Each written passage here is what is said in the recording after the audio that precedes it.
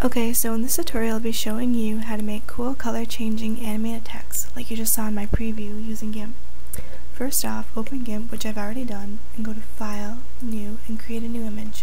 It doesn't matter what dimensions you use, but I'm just going to be using 500 by 400. And under Advanced Options, make sure you click Fill with Transparency, and click OK. Now get your text tool, and choose a font and size and color that you want, and just type in whatever text that you want to use. I'm just going to use colors and move it to wherever you want. Now on your colors layer or your text layer, go layer, layer to image size. Now you can just delete your background layer by just right clicking, delete layer. Now make a new layer on top of your text layer and call it colors 1 and make sure it's filled with transparency and click OK. Now get your gradient tool Make sure your gradient is set to foreground to transparent and your shape is set to bilinear. And choose a foreground color that you want for your first color. I'm just use this pink color. And drag out your gradient a bit. Make sure to keep it straight so you get a line like that. And get your move tool and just move it to the start of your text, like that. Now, make sure you're on your colors one layer, make a new layer on top of that, and call it colors 2 and click OK. Now choose a second color that you want. I'm just going to use blue and click OK. Get your gradient tool again and just drag out a gradient like you did the first time. And get your move tool and move it next to your first color, like that. Now, make a new layer on top of your colors 2 layer and call it colors 3 and click OK. Now choose a third color that you want. I'm just going to use yellow. Click OK. Get your gradient tool again and drag it out a little bit like that until you get a line and get your move tool and move it just like that. Now make another new layer and call it colors 4. This will be the last color. Click OK.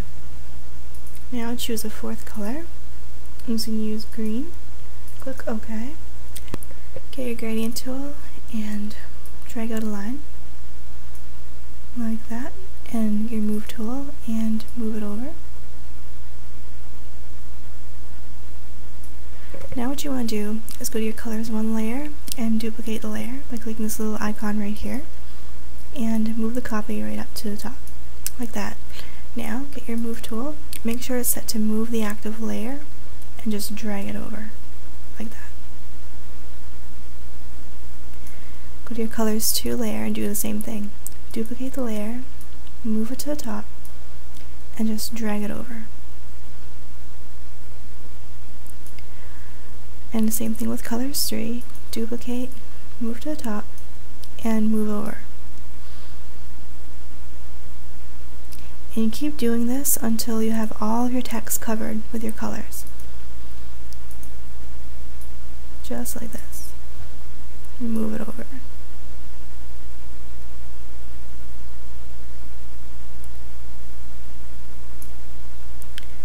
Do your colors one, duplicate, move to the top, and move over.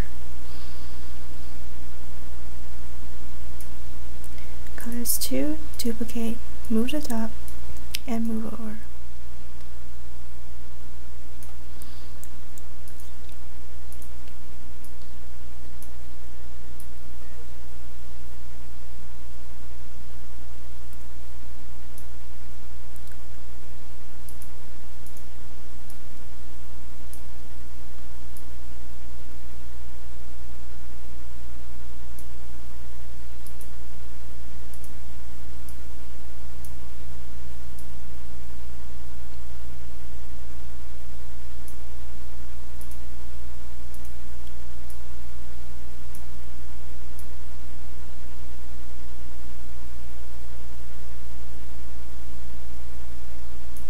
Okay, so once you have that done, go down to your original text layer, right click, and click Alpha to Selection. Now go to select invert or control I and on every other on your colors layer just click delete on every layer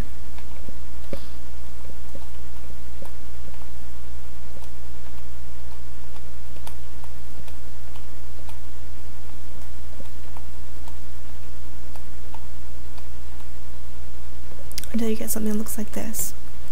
Now what you want to do is go down to your original text layer and duplicate it and put it between all of your colors layer like this. Duplicate and put it between your colors layer like that.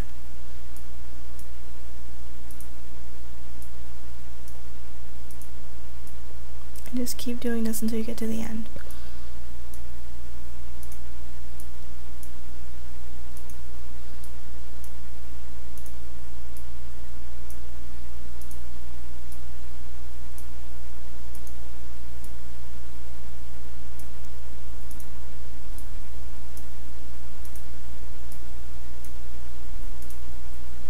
Now on every one of your colors layer, right click and merge down to the text layer below it.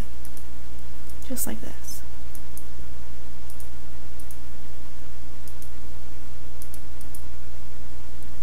And keep doing that until you get to the bottom.